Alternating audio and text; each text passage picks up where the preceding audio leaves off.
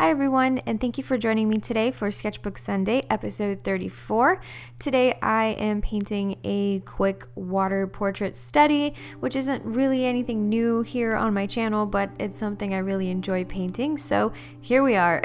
I started off with an underpainting in burnt sienna, and this basically just set a nice mid tone for the painting, and the warm undertone will help bring out the blue cool tone that will be the majority of this painting. And also, the skin tone will have cool tones in it as well, considering some of it's underwater. That's something that I always found interesting is how water reflects light a different way onto skin and just sort of that barrier between being above the surface and below, and then all the distortion that happens. But Aside from the actual visual effects of water that have always been really fascinating to me, I've also been interested in the metaphorical aspect of it.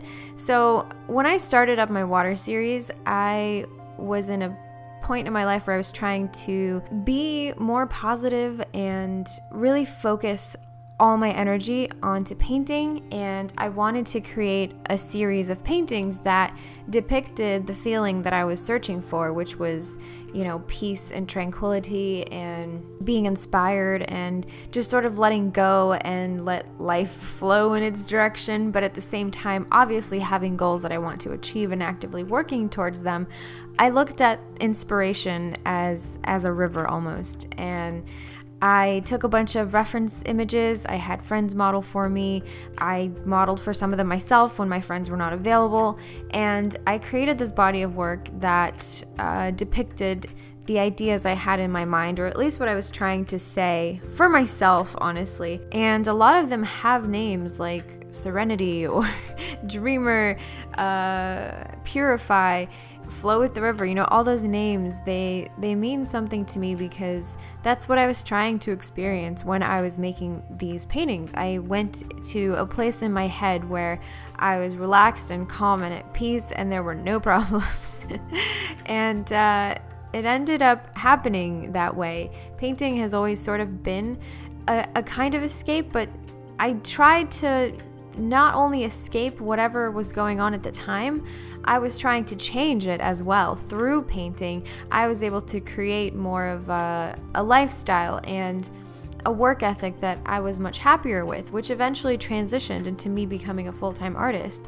And so, through creating this series and through painting water, I almost practically brought the feelings that I was trying to create and portray and wanted to feel that were in my mind, I actually made them my own reality. So it was a very interesting experience. And then looking back on the art, I didn't actually understand this back then. That's the other thing is like at the time, although I realize now this is what I was doing, looking back on it and analyzing it, I didn't know that as I was creating these paintings. I was literally just trying to uh, paint images that were in my mind, things I wanted to see that existed in the world, and they happened to be, you know, the things that I wanted to feel and experience and was actively trying to aim for. I'm hoping that this is making sense, but, you know, aside from just the beauty of water itself and, and all the many forms it embodies and how fascinating it is to me visually, uh, from even like a scientific level, I was also drawn to paint it on an emotional level. It helped carry these ideas and these thoughts. I sort of just channeled it all into the weird distortion of water and also it completely encompassing the human beings that are in it.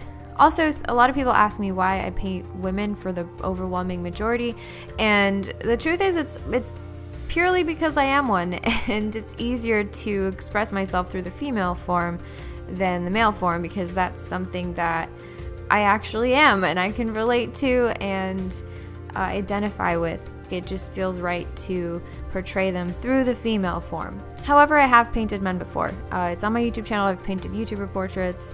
I've done male portraits in the past. Uh, it's just I'm, you know, creating from a female perspective. And so I'm sure there's a whole lot of subconscious psychological crap that's involved with why I paint so many women. But, you know, it's just more comfortable for me to do that. Um, but yes, I have painted men before. But trailing back to the topic of water, I've done so many paintings where the water was heavily blue. I've done a lot of swimming pool references, and this is sort of it's been my main focal point in the main body of water that I utilized, although I have taken references in bathtubs as well. I'm not ashamed to admit that. So the point is, it was like I needed water, you know, I needed a body of water to work with. And when you live in a small apartment and you don't really have a backyard to work with, like you couldn't, there's only so much you can do.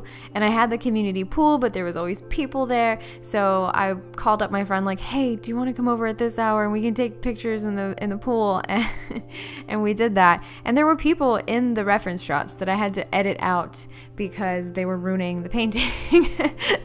so it, it's it's been an adventure to get these reference images, but as I was saying, I have been working predominantly with a pool, you know, water that is placed in something very blue toned. So now I want to explore more natural bodies of water, not something that's man made like a bathtub or a pool of some kind. I want to actually go into lakes, go into the ocean, and you know, explore the more natural side of things.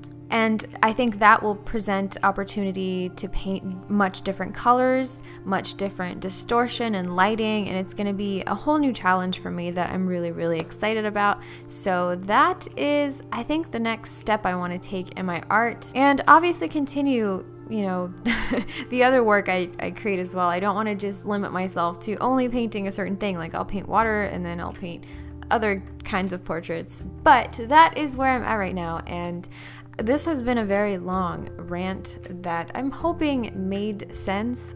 Some of these things I have said before, but um, even this I've said before, but so much of the process is intertwined and interconnected in all these different ways that it's, it's a little bit hard not to repeat yourself sometimes when talking about it. So I, I feel like I need to clarify. Don't want to be too repetitive on here. It's always a challenge to come up with fresh content, you know, especially when you're when you're trying to upload frequently. But I hope that these videos are helpful for you guys. I hope you're enjoying them. And I want to thank you for watching and wish you a beautiful week and I will see you in my next video. Bye everyone.